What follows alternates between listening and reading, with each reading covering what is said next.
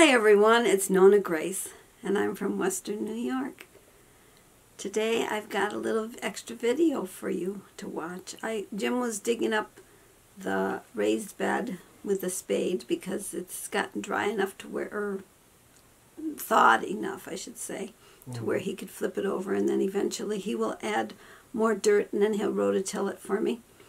And you're going to see Mr. Brown, and you're going to see me hula hoop and you'll see Emily walking on the treadmill. And I think that's everything that you're going to see in the little videos that I'm going to put in right here.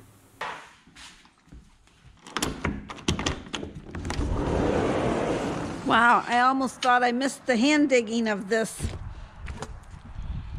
It's is it pretty thawed? Ooh, Yeah, it's, it's pretty, pretty cold again. It's breezy out here. I gotta stand where the sun is not gonna be on me. I mean, the wind's not gonna be on me. The sun will be on me. Yeah. So it's pretty good.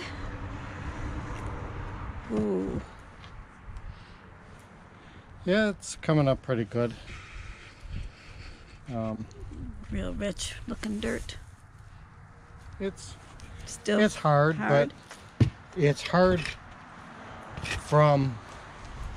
It's not hard from frozen. It's, just hard hard, from from, being packed. compaction. Yeah, there's a worm I saw. Oh yeah, there's lots of worms. If your chickens knew it, they would be right in here. I know. They But- can't get in here. I don't want them in here. I want the worms in here. I know. They'll, They'll they help break everything else up. Make it nice. I gotta go find Mr. Brown. I've got him outside. Oh, here he comes. Hello there, Mr. Brown. There you are. He must have heard you. He must have heard me. Are you gonna, what are you gonna do? You're not gonna go in the house, are you? He says, hmm, the door's open. Yep, I'm going in. I'm gone. I was on the east coast of Florida, and today I'm on the west coast. Yard. Good morning, and thanks for joining me on my quick vacation to Florida. Yesterday was a family day, so no cameras, no pictures. Actually, I really didn't do anything but enjoy the time I had with my children.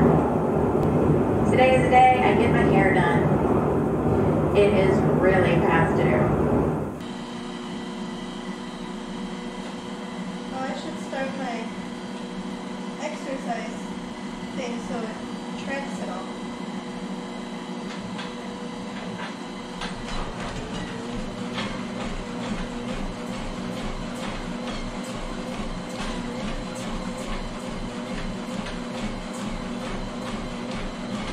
Emily comes by to walk on the treadmill.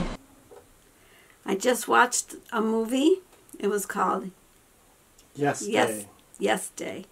So have you ever done a yes day? I won't do a yes day because I'd have to say yes to everything. So that wouldn't go over very well with me, but it might go over well with the person wanting all the time and you say yes all the time. Although they did have some ground rules. Yes, they did have a few ground rules, but I think that there's more um, trouble that you could get Yeah, from it there than, is. From, than because Could you would be. because you wouldn't think of all the the things that you would want to put in the ground rules, and you'd have to have them all settled before you began the game of the yes day. So it's still no, and that's how Nonna came about actually. Because when little kids are little, you tell them, um, oh, no, no, no, touch that. Instead of no, it was they would go. The little kids learn their first word that they learn is no, and you'd say no, nah. So like they're calling you or pretending, or are you saying no, no? And this way, the word no was not a big word for the little kids. See you all tomorrow. I don't know how to say goodbye, but uh, I'll see you all tomorrow. Bye bye.